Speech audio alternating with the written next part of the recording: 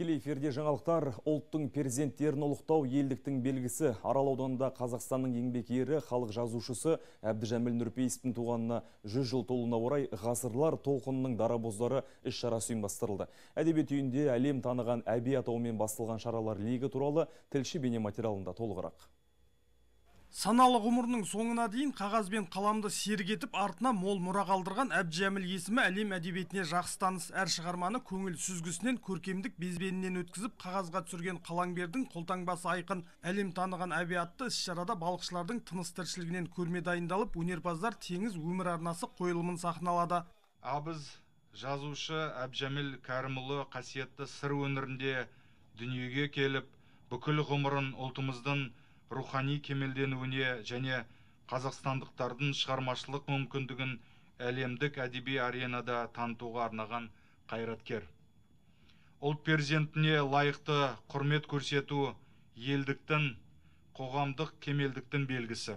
Мұнан соң қаламгерді еске алуға арналған қазақ күресінен республикалық турнир жалауын көтерді. Боз кілемде Қызылорда, Ақтөбе және Түркістан облыстарынан келген 70-ке жуық палуан алты салмақ бойынша сынға түссе, аса ауыр салмақта түйе палуандар күш сынасты. Ересектер арасында 55, 60, 70, 80, 90 және 100. Одан бөлек түйе палуан жүзден жоғары палуандар белдеседі енді қазіргі таңда бізде қызылорда облысында жақсы дамыған жаңақорған ауданы қармақшы ауданы оның үстіне жалағаш ауданы осындай палуандарымыз жақсы белсенді күрес көрсетіп жатыр. Ел қорғаны жанқожа республикалық ғылыми танымдық конференция ұлт азаттық көтерілістің көсемі жанқожа нұрмұхамедұлының 250 жылдығына арналды. Шынында ұлт азаттық үшін жанын қиған батыр бабалардың рухын ардақтау ерліктерін ұрпаққа үлгі ету бүгінгі буынның міндеті. Конференцияда тарихшылар мен ғалымдар саналы ғұмырын елдік пен ерлік жолына арнаған халық батыры жанқожа нұрмұхамедұлының өнегелі ғұмырын ұрпаққа үлгі етті. Жанқожа батыр әрине басқа батырлармен қатар айтылады бірақ олардан бір пунктте болса жоғары тұрған ерекшелігі бар. Ерекшеленетін айрықшаланатын өзіндік орын бар. Ол қандай десек өз тарихында үш рет көтеріліске шыққан.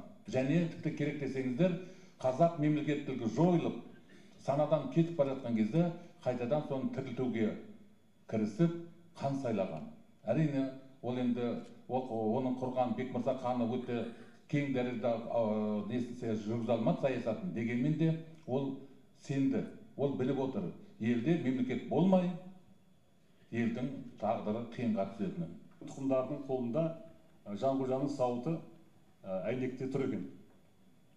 Сонда жанқожа сексен алты жасында жиырма килограмм сауытпен дулығамен бес қарумен анандай атпен анадай тумен алып тумен сексен алты жасында көтеріп орысқа қарсы шабу өте үлкен орыстар таңдай қалтырған жағдай болды. Халықаралық суретшілер симпозиумына қатысушылар заңғар жазушының туған жеріне саяхат жасады. Шығармаларда сөзбен суреттелген дүниені қылқаламға арқау етіп өміршең өнердің озық үлгісін тарту етті. Әрі кәсіби суретшілер жас буынға шеберлік сағатын өткізіп өз тәжірибелерімен бөлісті. Жолда келе жатқанда бермен қарай ойлағанмын или еламан или ақбала туралы бір көріністер бейнелейін бе деп. Онымен мұнда келгеннен кейін манағы әртүрлі көріністерін етіп ойымды басқа жаққа бұрып жібердім.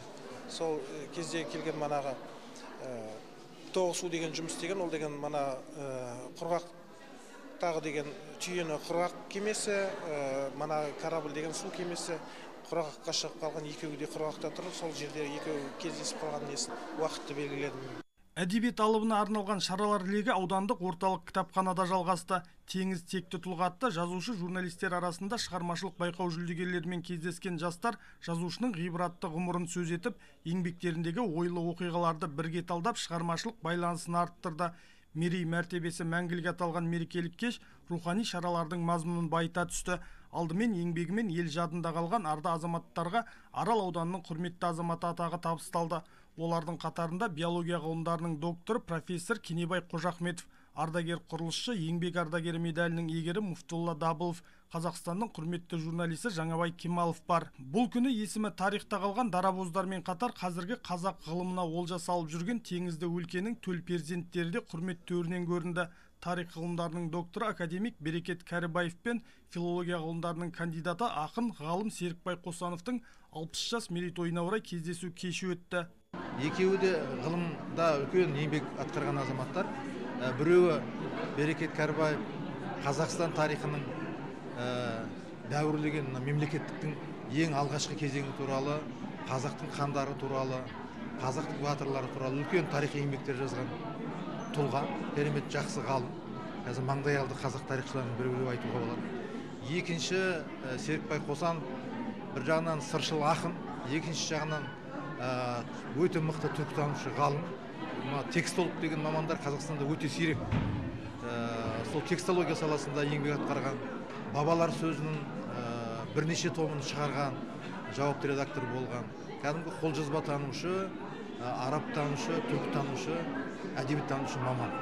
Осы әрі ақын. Кеш барысында қос ғалымның ғылымға сіңірген еңбегі насихатталып өмірлік тәжірибелерімен бөлісті.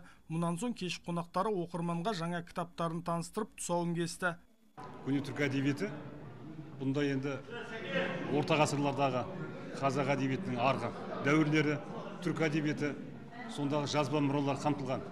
Енді оның ішінде көптеген жазба жәдігерлер бар.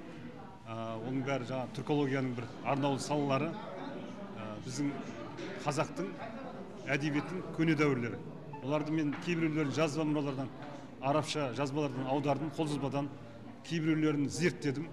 И соларды топтастырып зерттеп монографиялық жинақ шығардым. Қазақ хандығының басқару институттары деп аталады. Ә, ол ә, ғылыми жоба негізінде шыққан.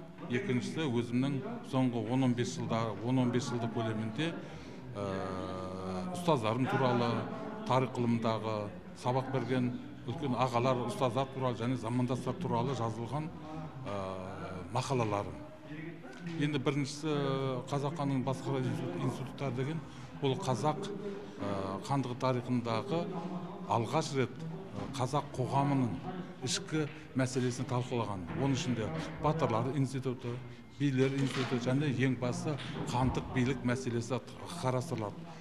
Екі күн бойы дүбірлеп өткен шаралар легі ғасырлар толқынының дарабоздары атты эстрада жұлдыздарының қатысуымен гала концертке ұласты.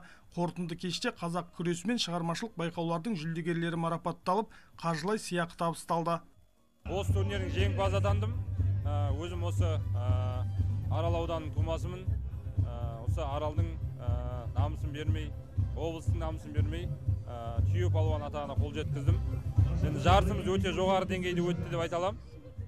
Бірінші айналымда ә, алматы қаласының балуанымен екінші айналымда шымкент қаласы одан кейін түркістан облысы және де осы ақ- ақтық айқаста өзіміздің бауырымыз қармақшылық айбек серікбаев бауырымызбен белдесіп жеңіс тобынан көрінді. Суретшілердің симпозиумын жасап жатырмыз. Халықаралық өзі сегіз суретші бұл бәрі де әйгілі әлемге әйгілі суретшілер. Сөйтіп ке- керемет бүгін олар жұмыстарын аяқтап сол жұмыстарын кө- көрсетіп елге өздері де риза халық та риза болып жатыр. Мен өте қуаныштымын. Мерекелік шарада жергілікті өнерпаздармен қатар еліміздің эстрада жұлдыздары ән шырқап теңіз төскейін әдемі әуенге бөледі.